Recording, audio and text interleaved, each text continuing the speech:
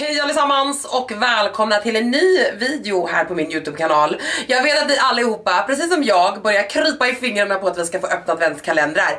Men lilla Lyko skrev och bara Du, innan du börjar kan du inte öppna den här? Och det kan jag. Så den här videon är alltså i betalt reklamsamarbete tillsammans med Lyko. Och det här är deras Lyko Lavaballs. Och det här är för er som inte har koll på Lyko Lavaballs. Jag har öppnat massor av de här varianterna tidigare. Eh, så är det typ en eh, box som du köper en enda gång, det är ingen prenumerationstjänst eller så, på Lykos hemsida. Och den släpps den 28 augusti, men den finns att bevaka redan nu om ni vill kika på den. Men den kostar 599 kronor, så 600 kronor. Eh, och den är värd eh, över 4550 kronor om inte jag missminner mig. Och jag är så taggad. Jag har fått se bilden, vad som är i, men jag minns inte. Ni vet, minnet är som en guldfisk och jag har också försökt att inte titta för länge på den. Eh, mer än att jag var så här, mm, I think I will really like this. För att jag givetvis, det är ju ett betalt reklamsamarbete så jag vill ju veta att jag öppnar någonting som ni kommer gilla. Men oavsett, är ni sugna på Lyko Lovables eh, så kika på hemsidan 28 augusti som sagt, 599 kronor. Och jag kan berätta att jag tävlar ut en sån här på min Instagram. Eh, jag länkar det nere i beskrivningen om ni är sugna på lilla Lyko Lovables. Men den kommer den här i alla fall, sjukt söta och fina boxen. Och Lyko Lovablesen kommer i lite andra format lite då och då. Ibland i en väska, ibland i en necessär, ibland i en korg, ibland i en väska, ibland, ja men du vet så. Men det här är alltså en klassisk box och ni vet ju hur mycket jag älskar att unboxa saker. Och jag har faktiskt inte så mycket som tittat den här. Alltså den här, alltså nu när den kom, den kom för typ fem minuter sedan vid dörren och jag bara, jag är sminkad. I'm doing it right now. Så låt oss helt enkelt unboxa lilla Lyko-lovables. Okej, okay, jag hoppar in här helt enkelt och öppnar den här. Oh, jag står alltså, den som jag verkligen gillar. Jag tror jag måste sätta ner den här. Gud, alltså jag skulle haft min lilla, jag har byggt en liten grej, en liten grej att sätta adventskalendrarna på sen. Men eh, jag får nog sätta den här här framför mig tror jag. Så att jag kan ha hands on the ready så att säga. Jag tar någonting. Är det det då? Är det det då? Boop. Okej. Okay. Ifrån eh, Clarence, Clarins, Clarence så har vi deras Multi-Intense Nuit. Jag kan inte franska. Lord have mercy. Super Restorative Night Cream. Jag tror inte att jag har testat den här från Clarence. Alltså jag gillar Clarence jättemycket. Men det här är alltså deras nattkräm då. Det är 30 ml så du kan kalla den full size mer eller mindre. En standard Clarence kräm tror jag är 50 ml men 30 ml är alltså det är en riktigt bra storlek. Eh, 30 ml, låt oss bara, jag vet att jag inte brukar öppna allting. Men för det här testet tänkte jag säga. Vi börjar den här öppningsvideon med att testa. Oh! Ser ni vad rik den känns? Och den luktar gott också, okej. Okay. Nu kommer mina händer att må bra hörni. Jag kanske inte öppnar allting i den här lådan, men den här, it felt really really nice. Okej, okay, så först ut, nattkräm ifrån Clarence. Oh, jag ser någonting! Jag har helt missat. Skojar ni med mig nu? Jag visste inte att det här var i. Alltså jag visste legit inte det. Jag tror inte att jag läste så långt. Jag bara var så du vet, jag läste två, tre stycken saker och bara I like this box already. Det här är från Juliet Tessa gun. Och följer ni mig på Instagram så vet ni. Alltså ni vet hur mycket jag älskar Juliet Tessa gun. Deras Vanilla Vibes är min mest älskade parfym, punkt. Eh, och den här har jag i fullstorlek. Det här är Lust for Sun, det här är en 5 ml. Juliet Tessa gun är en ett dyrt parfymmärke. Det här gör mig så himla glad. Och det är också så kul numera, alltså när jag började köpa mina Juliette Hassagan parfymer då fick man köpa det på typ nisch, nischparfymställen. Nu finns det du vet på Lyko och sådär. Och det är så roligt. Det här är alltså Lust for Sun och jag tänker inte spruta med den här för att jag har redan den här i fullstorlek och i den här storleken faktiskt. Det är, vänta en sekund, jag ska springa och hämta den. Så här ser alltså den stora, det här är en 100 ml som jag har. Oh, och den här släppte de, åh oh, gud det här luktar så gott. Den här släppte de i mm, våras eller tidig sommar. Nu tar jag jättemycket för jag är besatt av den här. Det här är en kokosig, inte för kokosig, söt blommig doft som är perfektion året runt men allra mest så nu på sommaren. Och det är fortfarande sommar oavsett vad ni säger. Jag vägrar inse att vi är på hösten. Och den här är bara så jävla god. För det som jag älskar med Juliette Hazagan är också att, att eh, hållbarheten är helt galet bra. Alltså wow, jag har aldrig träffat en... Träffat en parfym? Ja, ja, jo. Jag har aldrig haft en parfym på mig som håller så bra som Juliette Hazagan. Skitroligt verkligen med en fem millare. Okej. Okay. Okej. Okay. Från Lanza så har vi fått deras healing oil. Ah! Och den här finns i massa olika storlekar men det här är en 50 milliliter. Och ni som vet, ni vet. Det här är alltså healing oil. Det är en supertrevlig eh, olja till håret som du kan använda du vet för att ge glans och sådär lyster i håret men också för att du vet fördela eh, lockar, få ihop stadga i lockarna. Alltså, alltså typ om du har lockat eller så. Jag vet inte riktigt hur det är på naturligt lockigt hår. Nu tänker jag lite mer på mitt hår som är väldigt skandinaviskt, ni vet platt och skittråkigt. Och eh, när man har lockat det så liksom är det skönt att få lite, z, lite glid i dem liksom. Och den här är så himla trevlig. Jag tror att de har gjort om den här förpackningen. Och den här luktar också helt van...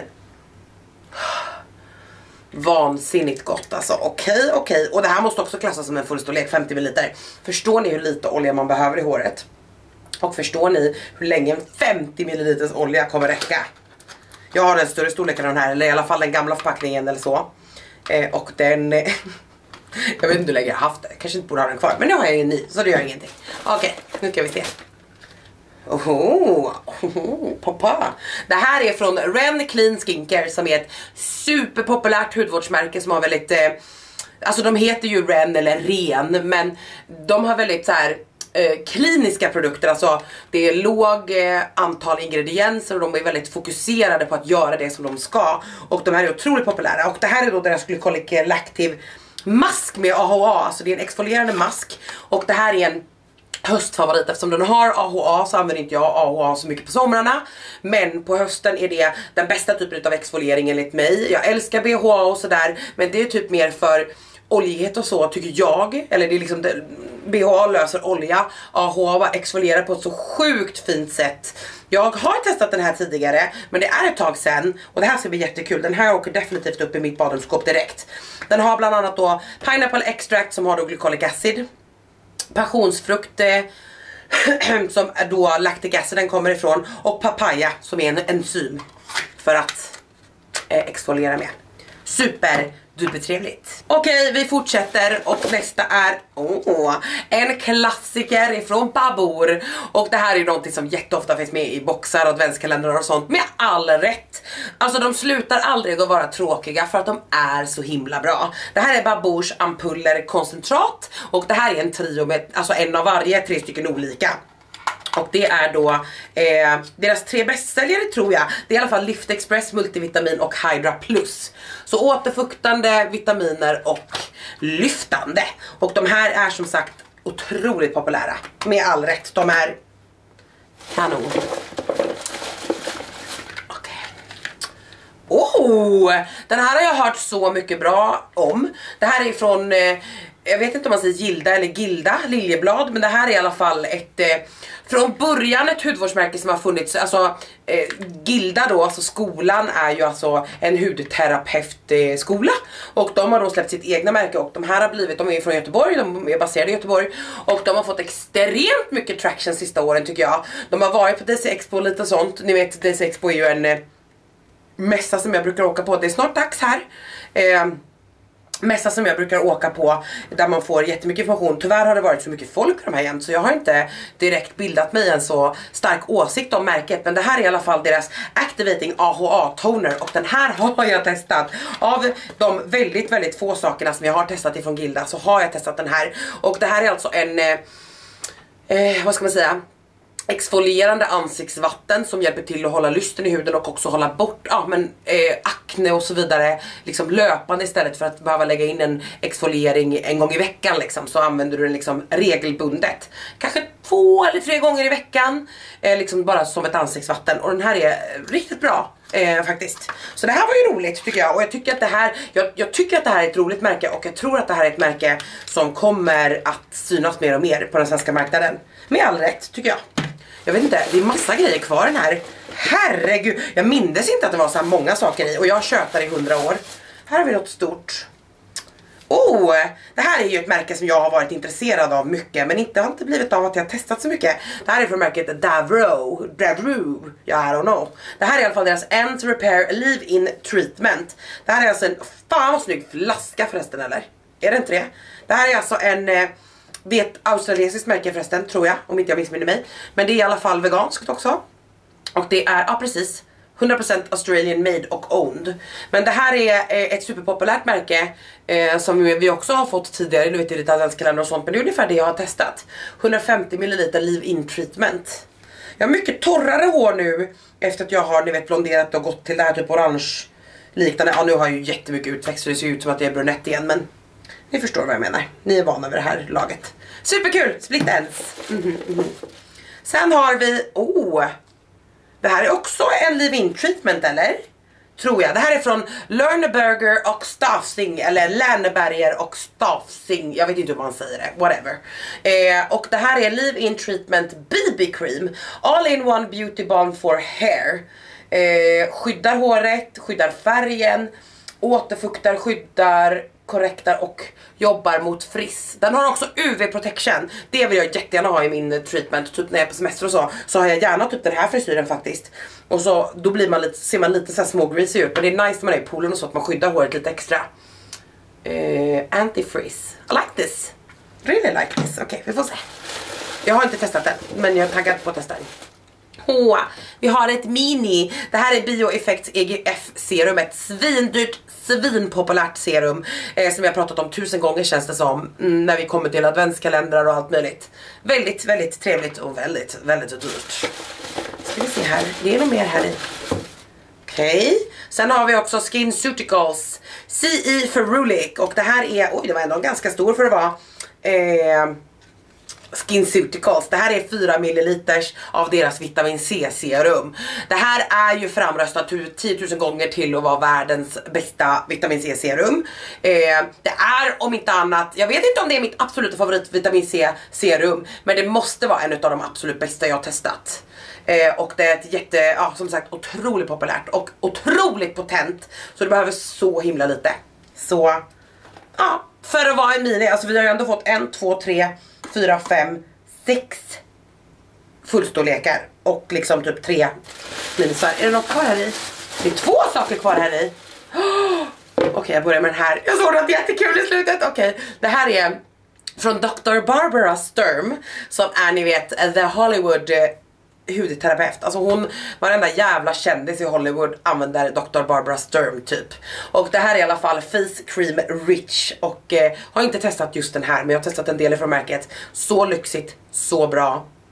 Eh, superkul en sån här box så jag vet inte hur många av oss som skulle vilja lägga de här pengarna på en dagkräm. Jag säger inte att vi inte, jag skulle kanske kunna göra det men då måste det vara verkligen Black Magic in a box. Och sist är det så jag kan inte förstå att vi har fått den här. Det här är från All I Am Beauty. Det är deras Glow Primer. Men det står 02 så jag undrar om det här är i en annan färg eller? Ah, det är den som är lite lite mörkare. Du kommer kunna använda den om du är min färg ändå. Ni ser jag tar ut lite här på handen. Och eftersom det är en primer, förstår ni? Så den här ska ju liksom vara under. Jag har ju då 01 redan hemma. Den här kommer jag definitivt behålla. Eh, jag har ju redan 01 hemma eh, och älskar. Det här är en så fin lystergivande prom. Jag använder den alldeles för lite. Och det är också en full storlek. Which I really, really like. Eh, och wow! Det var det eller? Det var det. Och om jag får säga det själv, det här är en dunderbra box. 599 kronor som sagt. Finns att bevaka på Lyko nu. Jag länkar den givetvis här nedanför. Och... Eh, den finns kvar så länge lagret räcker liksom. Den kommer inte tillbaka sen. Och eh, värd över 4 500 kronor. Vilket är faktiskt helt vansinnigt bra eller? I really like it. Och glöm inte bort att jag tävlar ut den också på min Instagram. Så kika på min Instagram om ni vill få chansen att vinna er egen sån här liten boxiluring. Så syns vi förhoppningsvis snart i en video och tack Lyko för ett fantastiskt samarbete precis som vanligt. Ni vet att jag absolut avgudar Lyko och mer än gärna jobbar med dem varje månad som jag har gjort i typ två års tid. Tack så mycket för att eh, ni tittar på dagens video. Puss och kram!